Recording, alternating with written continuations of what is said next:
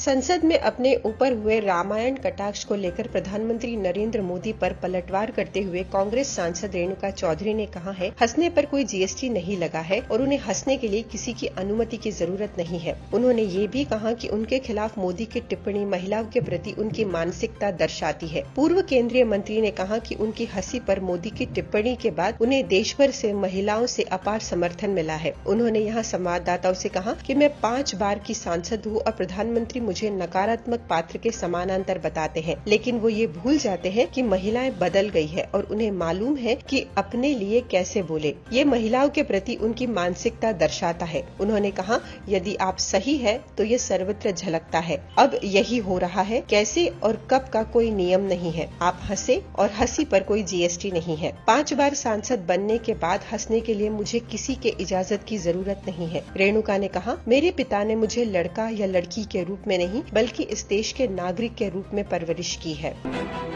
देश और विदेश की हर तरह की न्यूज़ को हिंदी में सबसे पहले देखने के लिए हमारे चैनल लोकमत न्यूज़ हिंदी को सब्सक्राइब करना ना भूलें।